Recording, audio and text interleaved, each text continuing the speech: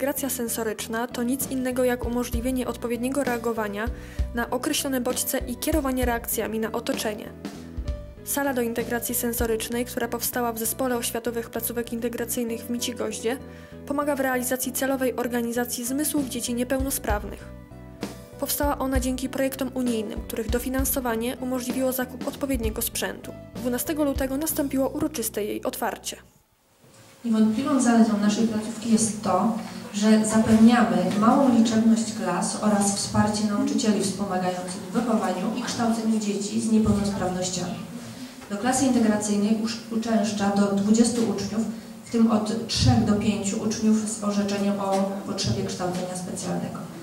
Po przedstawieniu działań placówki w Micigoździe uroczyście poświęcono nową salę.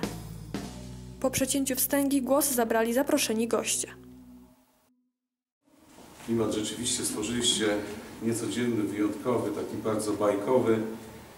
Rodzice, którzy są dzisiaj z nami, doskonale o tym wiedzą, że to ma służyć wychowaniu i rozwo- rozwojowi ich dzieci, to ma pomagać nauczycielom, terapeutom w tym, żeby ci najmłodsi mogli swoich rówieśników dogonić, a niejednokrotnie przegonić w rozwoju. No cóż, jako przewodniczący pierwszy raz zetknąłem się z taką szkołą. Myślę, że jest to dobry kierunek, bo w gminie Piekoszów ta szkoła zajmuje się dziećmi, integruje dzieci niepełnosprawne. No co mogę powiedzieć?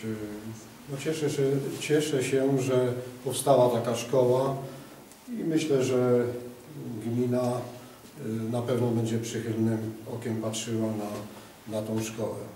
Życzę panu dyrektorowi dalszych sukcesów. Y, Myślę, że nie pierwszy, nie ostatni raz jestem w tej szkole. Dziękuję bardzo. Dziękuję tu za ciepłe słowa przede wszystkim pana posła pod adresem tej szkoły i pan poseł ma rację, że gdyby nie pomysł pana dyrektora, żeby nie stworzenie tej szkoły jako szkoły integracyjnej, faktycznie ta szkoła nie miałaby tutaj miejsca i prawdopodobnie mogłoby tu niebawem już nie być. Myślę, że w kontekście szkoły integracyjnej mamy taką szansę. Oczywiście stoją tu duże zadania. Ta szkoła się boryka z problemami lokalowymi. Należy coś zrobić, należy chociaż w minimalny sposób, ale usprawnić to i będzie lepiej. Dziękuję za takie wyróżnienia. Uważam, że po prostu każda firma, która jest na terenie jakiejkolwiek gminy, powinna z tą społecznością współpracować nie powinna, po- i wobec powyższego na miarę swoich możliwości powinna pomagać. Dlatego tutaj nie ma nic dziwnego, że firma, którą prezentuję, którą zarządzam, w miarę swoich możliwości pomaga. Deklaruję, że będziemy pomagać nadal, bo jest to bardzo szczytny cel. Wobec powyższego czuję się związany z tą społecznością i przyrzekam, że dalej będziemy w miarę możliwości naszej firmy finansowo czy, czy, czy w inny sposób wspierać tutaj gminę i, i przede wszystkim samą miejscowość Micigust. No i oczywiście szkołę, która jest tutaj takim ośrodkiem centralnym, bo wychowuje przyszłe pokolenia, wychowuje młodzież. Także deklaruję też nadal tą pomoc, y, którą do tej pory y, sprawowaliśmy. Bardzo się cieszę, że tak e, specjalistyczną pomoc dzieci z różnymi problemami mogą uzyskać właśnie w tym miejscu. Gratuluję też pomysłu na salę integracji sensorycznej.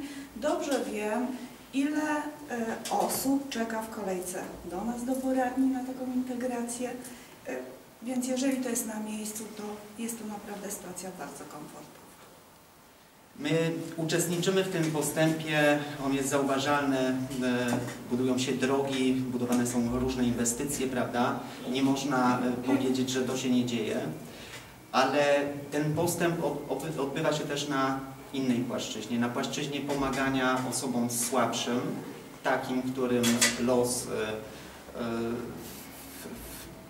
zabrał zdolność zdrowego życia, i miarą naszego człowieczeństwa, i ta szkoła, tak ją widzę, jest zdolność do pomagania osobom słabszym, czyli w tej, w tej sytuacji właśnie dzieciom. Dobrze, że taka jednostka wyspecjalizowana, dysponująca też wyspecjalizowaną kadrą mieści się na terenie gminy. E, I to właśnie jest ten postęp, że nie musimy, nasi mieszkańcy nie muszą szukać tej pomocy gdzieś na zewnątrz, gdzieś dalej. E, I tak jak tutaj mój przedmówca, pan poseł, powiedział, to 20 lat temu, 30 lat temu wydawało się niemożliwe. Ale dzisiaj jesteśmy tego uczestnikami. Gratuluję. Tylko dwa słowa. Chciałam pogratulować Jurku pomysłu i dzięki, że między nami, dyrektorami tutaj w gminie mamy człowieka z taką inicjatywą i będziemy Cię zawsze wspierać. Gratuluję pomysłu, ale muszę Państwu jeszcze coś powiedzieć. Y, Byliśmy ostatnio z Jerzym na szkoleniu w Warszawie, w Serocku, gdzie byli dyrektorzy z całej Polski. Jurek w pewnym momencie, omawiając tam problemy na warsztatach, powiedział o swoim pomyśle. Powiem Wam tak, że wszyscy się dziwili, że to jest rzeczy niemożliwe, stają się możliwymi. O problemach, o trudach, w jaki sposób przekształcą tą placówkę i myślę, że wkrótce będzie słychać o Waszej szkole, nie tylko tu w Piekoszowie, w naszym województwie, ale w całej Polsce, ponieważ bardzo szeroko się zainteresowali tam w Serocku również pomysłem Jerzego i naprawdę gratuluję Jurku i trzymaj tak dalej. Na zakończenie wystąpili uczniowie szkoły z krótkim przedstawieniem wokalno-teatralnym.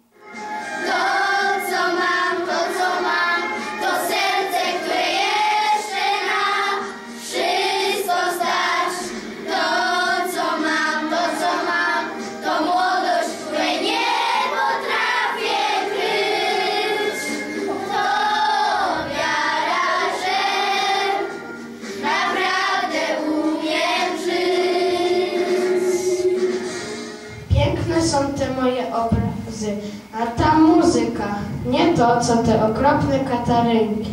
Muzyka to sztuka, a ja jestem znawcą sztuki, szanowanym adwokatem. Tak, ale, ale miałem porozmawiać z nowym stróżem. Ja nie, Tak, panie mecenasie? ja nie. Przyprowadź mi tu tego nowego stróża. Chciałem z nim zamienić kilka słów. Rozumiem, proszę pana. Słuchaj no, słuchaj no, jak ci na imię? Kazimierz, proszę pana. Słuchaj Kazimierzu, będę ci płacił dodatkowo za miesiąc, a wiesz za co? Nie mogę wiedzieć, proszę pana. Za to, żebyś na podwórze nigdy nie wpuszczał Katarynek, rozumiesz? Rozumiem, proszę pana. No idź już, mam dużo pracy. Zostawmy na chwilę pana Tomasza. Zobaczmy, kto wprowadził się do mieszkania naprzeciwko. Mamo, czy jest noc? Nie moje dziecko, dlaczego tak mówisz? Dla mnie zawsze jest noc, zawsze ciemno i straszno. Mamo, dlaczego ja nie widzę? Bo tobie oczy zasłoniło, ale to przejdzie. Kiedy przejdzie? Niedługo. Jak tylko nazbieramy odpowiednią ilość pieniędzy, wybierzemy się do tego znanego doktora.